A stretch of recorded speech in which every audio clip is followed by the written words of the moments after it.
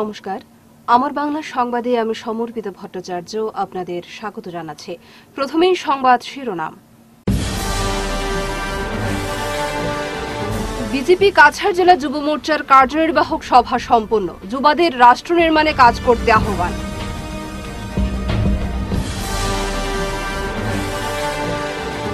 কর্মরত অবস্থায় গাছ থেকে পড়ে শ্রমিকের মৃত্যু আরকাটিপুর বাগানে।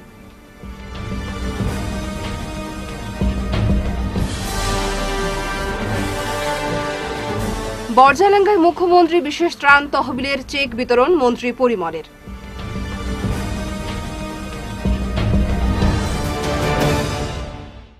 এবারে বিস্তারিত আমার বাংলা সংবাদ। যুব শক্তিকে রাষ্ট্র নির্মাণের কাজে সমর্পিত মনোভাব নিয়ে কাজ করতে হবে। মঙ্গলবার ভারতীয় জনতা যুব মোর্চার কার্যনির্বাহক সভায় এই মন্তব্য করলেন আসাম প্রদেশ যুব মোর্চার সহসভাপতি মনোজিৎ নাইটিং। এদিন ইটখলাস্থিত জেলা বিজেপির কার্যালয়ে কাছাড় জেলা যুব মোর্চার প্রথম কার্যনির্বাহক সভা অনুষ্ঠিত হয়। এতে আসাম রাজ্যিক যুব মোর্চা কমিটির সহসভাপতি মনোজিৎ নাইডিং, রাজ্যিক যুব মোর্চার সম্পাদক মিমো দাস উপস্থিত ছিলেন। এদিন সকাল নটা পঁয়তাল্লিশ মিনিট নাগাদ জেলা বিজেপির কার্যালয়ে দলীয় পতাকা উত্তোলন করেন জেলা যুব মোর্চার সভাপতি অমিতেশ চক্রবর্তী সহ অন্যান্য জেলা যুব মোর্চার পদাধিকারীরা। তারপর পণ্ডিত দীনদয়াল উপাধ্যায় সম্প্রসাদ মুখোপাধ্যায় ও ভারত মাতার প্রতিকৃতির সামনে প্রদীপ প্রজ্বলন এবং জাতীয় সঙ্গীতের মাধ্যমে অনুষ্ঠানের শুভারম্ভ করেন বিশেষ অতিথিরা। এদিন অনুষ্ঠানে উপস্থিত ছিলেন শিলচর বিধানসভা সমষ্টির বিধায়ক দিবায়ন চক্রবর্তী, লক্ষ্মীপুর বিধানসভা সমষ্টির বিধায়ক কৌশিক রায়, কাছাড় জেলা বিজেপির সভাপতি বিমলেন্দু রায়, কাছাড় জেলা যুব মোর্চার প্রভারী তথা জেলা বিজেপির সাধারণ সম্পাদক শশাঙ্ক চন্দ্রপাল জেলা যুব মোর্চার সভাপতি অমিতেশ চক্রবর্তী, কাছাড় জেলা বিজেপির সহসভাপতি রাজেশ কুমার দাস, গোপাল রায় প্রমুখ।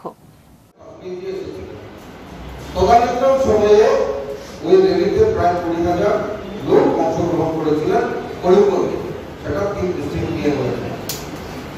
এইসব বিষয় আপনাদের সম্মুখে বলার প্রয়োজন তার জন্য যে দুঃসময়ে ভারতীয় জনতা পার্টি আর আজকের দিনে ভারতীয় জনতা পার্টি। দুঃসময়ে ভারতীয় জনতা পার্টি করা অনেক কঠিন কাজ ছিল। পুরো ডেডিকেশন নিয়ে সময় দেওয়া রাষ্ট্রের জন্য, দলের জন্য। দল কেন হয়েছে? রাষ্ট্র গঠনের জন্য। রাষ্ট্র গঠন হয়েছিল, কিন্তু পরবর্তীকালে এই রাষ্ট্রের জনসাধারণরা লাঞ্ছিত, বঞ্চিত হচ্ছিলেন দিনের পর দিন এই কথা মাথায় রেখে আর এই তৈরি আর এই ডেডিকেশন নিয়ে কাজ করা সেটা অত্যন্ত গৌরবের ছিল আর অত্যন্ত কঠিন কাজ ছিল যে নিজের যে জীবন, সেই জীবনকে প্রতিষ্ঠিত করার সাথে সাথে ভারতীয় জনতা পার্টিকে সমাজে প্রতিষ্ঠিত করা। সেই কাজ হয়েছে। কিন্তু আজকের দিনে যে পার্টি করা বা যুব মোর্চা করা, সেটা অত্যন্ত দায়িত্বের কাজ। আর এটা আগের থেকে আমি ভাবি যে আরও টাফ কাজ কেন টাফ কাজ বললাম? যে আগে ছিল সংগঠন করা। বিরোধী হিসাবে আমরা সংগঠন করতাম, সংগঠনের কাজ। কিন্তু সংগঠনের সাথে সাথে সরকারের কাজ আসবে শাসন ক্ষমতায় আসার পর কি হয়েছে? ভারতীয় জনতা যুব মোর্চার কাছাড় ভারতীয় জনতা যুব মোর্চা কীভাবে কার্য পরিচালনা করা হবে বিভিন্ন সিদ্ধান্ত গ্রহণ ভারতীয় জনতা যুব মোর্চাকে এই অঞ্চলে শক্তিশালী ভাবে রূপ দেওয়ার জন্য আজকে এই সভা আহ্বান করা হয়েছে বন্ধুগণ ভারতীয় জনতা পার্টির যাত্রা শুরু হয়েছে জনসংখ্যা থেকে শুরু করে ভারতীয় জনতা পার্টির পরবর্তীতে আজকে আমরা যেহেতু বর্তমানে আমরা সবাই আছি ভারতীয় জনতা পার্টি উনিশশো একান্ন সালের একুশ অক্টোবর থেকে শুরু করে আমাদের যাত্রা শুরু হয়েছিল বিভিন্ন পর্যায়ে বা বিভিন্ন ধাপে ধাপে আজকে আমরা এই পর্যায়ে ভারতীয় জনতা পার্টি আমরা এই স্থানে এসে পৌঁছেছি ভারতীয় জনতা পার্টি বিশ্বের মধ্যে সবচেয়ে বড় রাজনৈতিক দলের বাগানে কর্মরত অবস্থায় গাছ কাটতে গিয়ে হঠাৎ গাছ থেকে পড়ে মৃত্যু হলো এক বাগান শ্রমিকের। ঘটনাটি সংঘটিত হয়েছে কাছাড় জেলার আরকাটিপুর বাগানে। জানা গেছে, বৃহস্পতিবার বাগান ম্যানেজারের নির্দেশ মতে তার কম্পাউন্ডের ভেতরে থাকা একটি গাছের ডাল কাটতে গাছে ওঠেন মাখন রবিদাস নামে এক বাগান শ্রমিক। এদিন বেলা দেড়টা নাগাদ হঠাৎ গাছ কাট উঠতে সময় গাছের ডাল ভেঙে মাটিতে পড়ে যান তিনি এবং গাছের ডালটি তার শরীরে এসে পড়ে। এতে গুরুতরভাবে আহত হন মাখন। সাথে সাথে বাগান সর্দার রোহিত রিকিয়াসন সহ অন্যান্য শ্রমিকরা তাকে ঘটনাস্থল থেকে উদ্ধার করেন। এদিকে ঘটনার খবর পেয়ে মাখন রবিদাসের স্ত্রী কান্নায় ভেঙে পড়েন। পরে বাগান পঞ্চায়েত কেদার গোয়ালা সরজমিনে ঘটনাস্থলে পৌঁছে মাখনকে প্রথমে আরকাটিপুর বাগান হাসপাতালে নিয়ে গেলে সেখানে কর্মরত চিকিৎসকরা তাকে শিলচর মেডিকেল কলেজ হাসপাতালে পাঠান। এদিন মেডিকেল কলেজ হাসপাতালে যাওয়ার পথে আনুমানিক বিকেল সাড়ে পাঁচটা নাগাদ মৃত্যুর কোলে ঢলে পড়েন মাখন। পরে ময়নাতদন্ত শেষে পরিবারের কাছে সমছে দেওয়া হয় তার মৃতদেহ।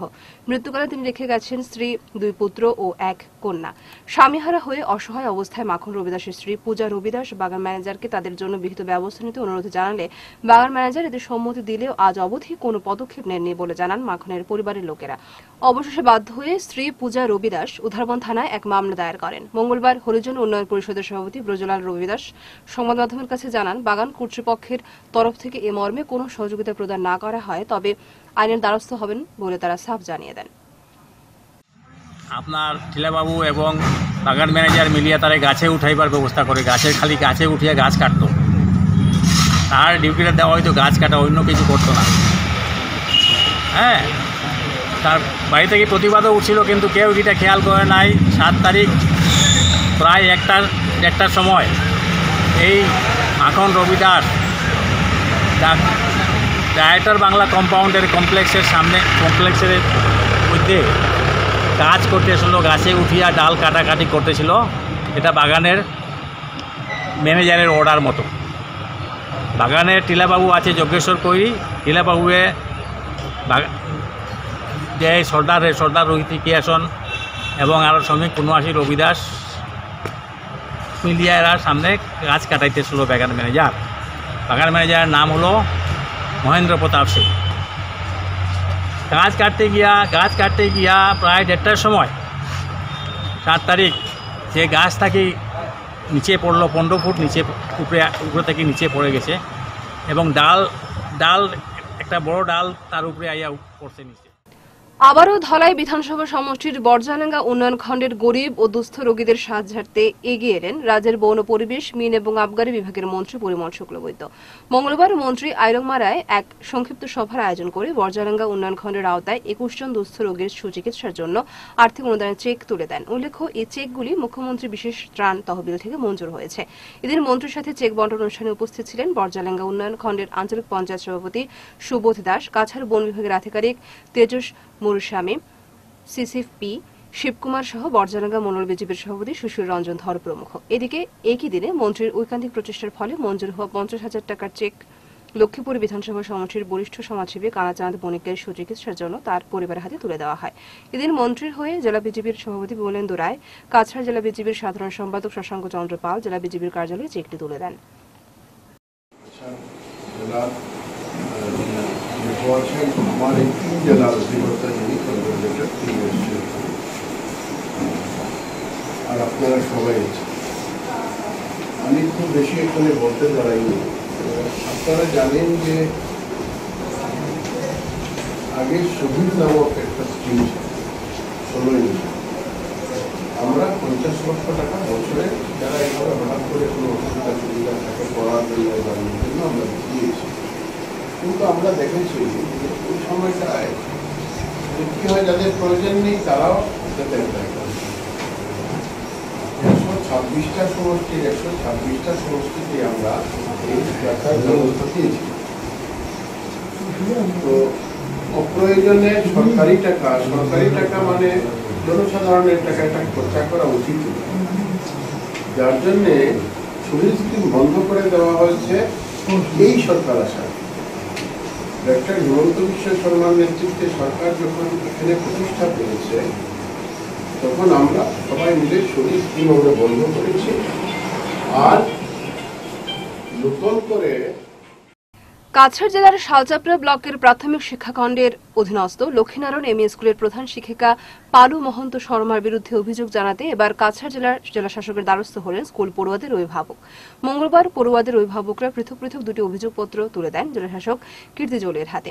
প্রথম অভিযোগপত্রটি ছিল স্কুলের অব্যবস্থা সহ প্রধান শিক্ষিকা পালু মহন্ত শর্মার বিভিন্ন অনৈতিক কর্মকলাপ নিয়ে। অভিভাবকদের ভাষ্য মতে, তারা নানা স্বপ্ন নিয়ে নিজেদের সন্তানদের ওই স্কুলে ভর্তি করেছিলেন, কিন্তু প্রধান শিক্ষিকার অনৈতিক কর্মকলাপে তাদের স্বপ্ন ভেঙে চুরমার হয়ে গেছে।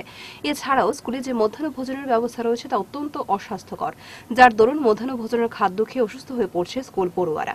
তারা এ অভিযোগে জানান, পড়ুয়ারা সঠিক স্কুল ইউনিফর্ম পাচ্ছে না, এমনকি স্কুল সার্টিফিকেটের জন্য পড়ুয়াদের মাথাপিছু একশো টাকা থেকে সাতশো টাকা দিতে হচ্ছে। এছাড়া পড়ুয়াদের প্রায় মারধর করা হয়। এদিকে স্কুলে উন্নত মানের শৌচাগার থাকলেও তা কেবলমাত্র শিক্ষকদের জন্য রয়েছে। জেলাশাসক তাদের অভিযোগ শুনে আশ্বাস প্রদান করে বলেন, অতি সত্তর তিনি বিষয়টি খতিয়ে দেখে তার বিহিত ব্যবস্থা নেবেন। এদিন জেলাশাসক কার্যালয়ে দ্বিতীয় অভিযোগটি জমা পড়েছে রুক্মিণী পাত্র নামে অষ্টম শ্রেণির এক পড়ুয়ার অভিভাবকদের পক্ষ থেকে। অভিযোগ, সার্টিফিকেট না পাওয়ায় রুক্মিণী নবম শ্রেণীতে ভর্তি হতে পারছে না। জেলাশাসক রুক্মিণীর অভিভাবকদের অভিযোগ শুনে শীঘ্র সমস্যা সমাধানের আশ্বাস দেন। এদিন অভিযোগপত্রগুলো দাখিল করার সময় জেলাশাসক কার্যালয়ে অন্যান্যদের মধ্যে উপস্থিত ছিলেন এনএসইউআই জেলা কমিটির কর্মকর্তা সহ বরখলার প্রাক্তন বিধায়ক রুমিনাথ। এদিন তিনি জেলা প্রশাসনকে এ বিষয়ে সঠিক তদন্ত করে দ্রুত পদক্ষেপ নিতে আহ্বান জানান। এবং আশ্বাস দিয়েছেন যে এটা অতি সত্য এটা তদন্ত শুরু হবে এবং তদন্ত করে দেখা দেখা যাবে যে এটা কতটুকু যাওয়া যায় এবং ডিসি আমাদের এটাও আশ্বাস দিয়েছেন যে যে ছাত্রছাত্রীদের এক এক বছর লস হয়েছে, তাদের, তাদেরকে আবার অ্যাডমিশন দেওয়া হবে। ওরা আবার পড়ার সুযোগ পাবে। স্কুল নিয়ে হয়েছে বিশেষত, যেটা লক্ষ্মীনারায়ণ স্কুল নিয়ে আমি শুনেছি, আমি অবগত নয়, আজকে শুনেছি। আমি আশা রাখব যদি কোনো করাপশন থাকে ছাত্রছাত্রীরা এসেছেন সেটা যাতে সরকার অ্যাডমিনিস্ট্রেশন পক্ষ এনকোয়ারি করে যাতে উপযুক্ত ব্যবস্থাটা যাতে না হয়, সেটার জন্য আমি ডিসি মহোদয়ের দৃষ্টি আকর্ষণ করি সোমবার রাষ্ট্র সেবিকা সমিতির পাঁচ দিবসীয় প্রাথমিক শিক্ষাবর্গ সম্পন্ন হল লক্ষ্মীপুর জেলার পয়রাপস্থিত নেহেরু উচ্চতর মাধ্যমিক বিদ্যালয়। বিগত কুড়ি এপ্রিল এই বর্গের শুভারম্ভ হয়ে চলে পঁচিশে এপ্রিল অবধি। এদিন বিকেল তিন ঘটিকা থেকে শুরু হয় সমারোপ কার্যক্রম এবং বিকেল সাড়ে পাঁচটা নাগাদ সম্পন্ন হয় শিক্ষাবর্গের। এই শিবিরে শিক্ষার্থী সহ সেবিকারা প্রদর্শন করেন বিভিন্ন যোগ ব্যায়াম ও আত্মরক্ষার বিভিন্ন কৌশল। পাঁচ দিন ব্যাপী এই শিবিরে সেবিকাদের নিজের আত্মরক্ষার জন্য নিযুদ্ধ শিক্ষা, দণ্ড শিক্ষা, প্রহার ইত্যাদি শারীরিক, বৌদ্ধিক ও মানসিক বিকাশের জন্য প্রচেষ্টা করা হয়। এছাড়াও সবার মধ্যে হিন্দু চেতনা জাগ্রত করার প্রয়াস করা হয়। এতে উপস্থিত ছিলেন মোট তেরোটি স্থান থেকে সাত ভাষা গোষ্ঠীর চৌষট্টি জন শিক্ষার্থী ও ছজন শিক্ষিকা সহ অন্যান্য আধিকারিকরা। প্রান্ত বৌদ্ধিক প্রমুখ মুক্তদাস বলেন, সেবিকা সমিতির জন্মলগ্ন থেকে সংগঠনটির মূল উদ্দেশ্য হিসেবে রয়েছে তেজস্বী বৈভবশালী ভারত রাষ্ট্রের পুনঃনির্মাণ করা। এদিনের সমারোপ কার্যক্রমে মুখ্য অতিথি হিসেবে উপস্থিত ছিলেন নেহেরু কলেজের অধ্যাপিকা মেঘমালা মহন্ত। এছাড়া সম্মানিত অতিথি হিসেবে ছিলেন সেবিকা সমিতির বিভাগ সঞ্চালিকা মীরা দাস, প্রান্ত প্রচারিকা জ্যোৎস্না নাথ প্রমুখ। এই বর্গের কার্যবাহিকার দায়িত্বে ছিলেন নির্মলা দাস। সেবিকা সমিতির লক্ষ্মীপুর জেলার প্রাথমিক শিক্ষাবর্গ। তো পাঁচ দিবসীয় শিক্ষাবর্গ গত কুড়ি এপ্রিল দু হাজার বাইশ ইংরেজি থেকে শুরু হয়। আর আজকে এই বর্গের সমারোহ অনুষ্ঠান। মোট তেরোটি স্থান থেকে চৌষট্টি জন শিক্ষার্থী অংশগ্রহণ করে। সাত ভাষাভাষী ভাষাভাষীর অন্তর্ভুক্ত সমাজের বিভিন্ন স্তরের মানুষ মানে মেয়েরা অংশগ্রহণ করে এই শিবিরে। শিবিরে শিক্ষা শিক্ষিকার সংখ্যা ছিল ছয়জন আর বাকি অন্য অধিকারীরা ছিলেন, এসেছেন। আর বিভিন্ন বিষয়ের উপর প্রত্যেক দিন বক্তব্য মানে বৌদ্ধিকের মাধ্যমে বিদ্যার শিক্ষার্থীদের মানসিক বিকাশের চেষ্টা করা হয়েছে। সেই বিষয়গুলোর মধ্যে হচ্ছে শাখা। শাখা যেটা আমাদের প্রাণকেন্দ্র বলা হয়, সংগঠনের মূল মন্ত্র শাখা। সেই শাখা হিন্দুত্ব, তারপরে সংগঠন, বন্দনিয়া মৌসিজি এই কয়েকটা বিষয়ের উপর পাঁচ দিনে বৌদ্ধিক রাখা হয়েছে এবং ওদেরকে শারীরিকভাবে মেয়েদেরকে সক্ষম করে তোলার জন্য নিযুদ্ধ মানে ক্যারাটে যেটাকে বলা হয় নিযুদ্ধ, দণ্ড চালানো, তারপরে ব্যায়াম, এগুলো শেখানো হয়েছে। আর শ্লোক অমৃত বচন, দেশভক্তি গীত এগুলো ওদেরকে উদ্দেশ্য হচ্ছে যে তেজস্বী বৈভবশালী ভারত রাষ্ট্রের পুনর্নির্মাণ। ধন্যবাদ। মাছঘাট জিপির নাথপাড়ায় বড় আখড়ার নবরূপে তৈরি হয়ে ওঠা মন্দির সহ কমিউনিটি হলের শুভ উদ্বোধন করলেন প্রাক্তন বিধায়ক কিশোরনাথ। রবিবার দুপুর সনাতন নিয়মনীতি মেনে দুটি কাজের উদ্বোধন করা হয়। এই উপলক্ষে আয়োজিত হয়েছে এক সংবর্ধনা অনুষ্ঠান। বড় আখড়া সেবা সমিতির পক্ষ থেকে প্রাক্তন বিধায়ক কিশোরনাথকে উষ্ণ সংবর্ধনা জানানো হয়। বিধায়ক থাকাকালীন কিশোরনাথ যে ধরনের কাজের মাধ্যমে নজর সৃষ্টি করে গেছেন, সেটি অতুলনীয় বলে উল্লেখ করা হয়। সেই সঙ্গে তার সহধর্মিনী নীলিমা নাথকেও একই মঞ্চে সংবর্ধনা জানানো হয়েছে। সভা শেষে এলাকার মহিলারা ধামাল নৃত্য পরিবেশন করেন। উপস্থিত ছিলেন আখড়া সেবা সমিতির সভাপতি অধর রঞ্জনাথ দীপকনাথ শেখরনাথ প্রমুখ। বুধবার কাছাড় জেলার সবকটি গ্রাম পঞ্চায়েতে প্রধানমন্ত্রীর ফসল বীমা যোজনার পাঠশালা অনুষ্ঠিত হবে। এতে যোগ্য কৃষকদেরকে প্রধানমন্ত্রীর ফসল বীমা যোজনার আওতায় আনতে বিভিন্ন পদক্ষেপ নেওয়া হবে। কৃষি বিভাগের উদ্যোগে আয়োজিত এই গ্রাম সভাগুলিতে সকাল এগারোটায় কেন্দ্রীয় কৃষিমন্ত্রীর একটি বার্তা সরাসরি ওয়েবকাস্টিং এর মাধ্যমে সম্প্রচারিত হবে।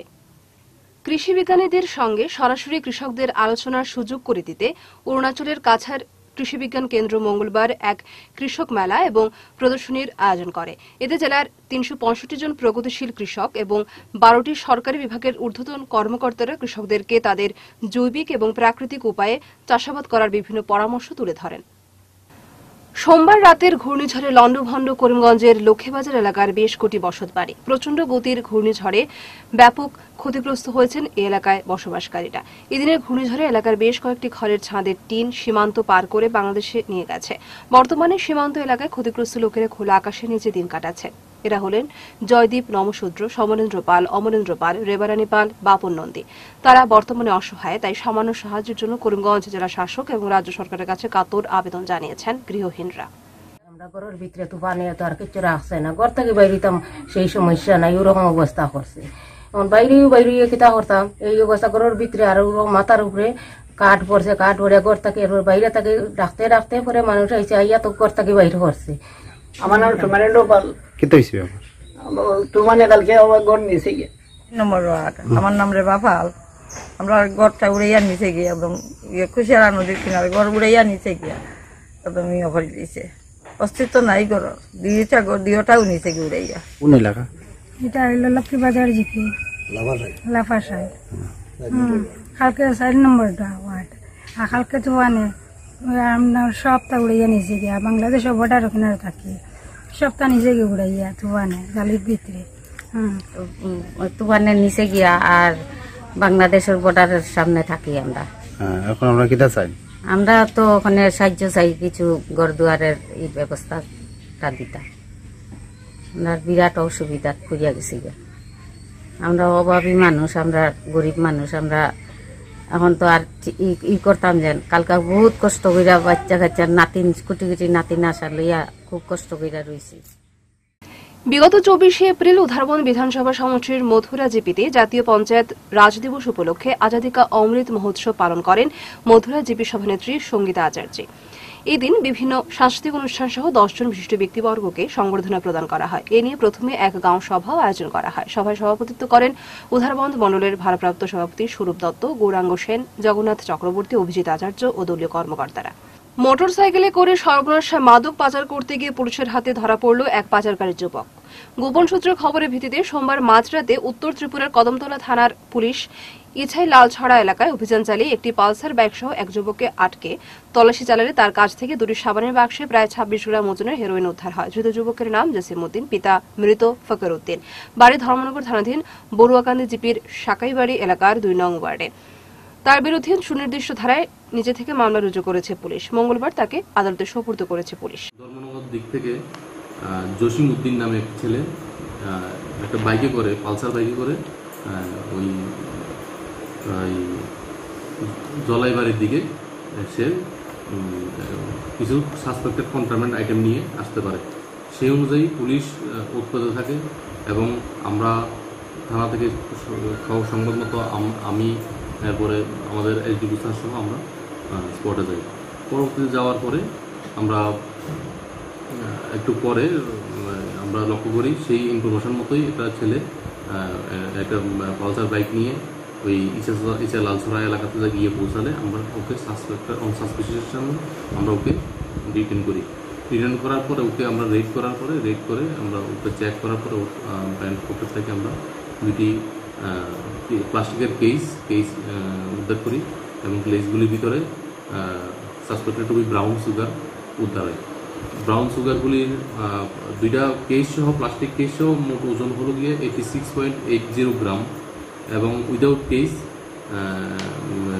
without container total brown sugar suspect brown sugar হলো গিয়ে twenty five point seven gram আমরা ওই জসিমুদ্দিন নামে ছেলেটিকে আমরা গ্রেপ্তার করেছি এবং ওর বাইক সিজ করেছি।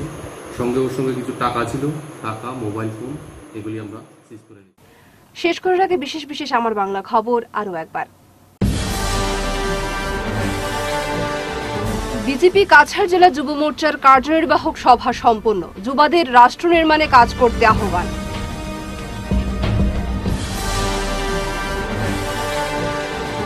কর্মরত অবস্থায় গাছ থেকে পড়ে শ্রমিকের মৃত্যু আরকাটিপুর বাগানে।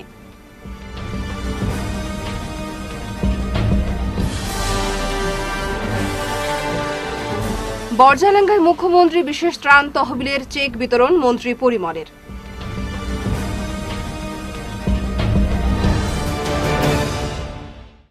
এখনকার মতো আমার বাংলা সংবাদ এ পর্যন্তই। নমস্কার।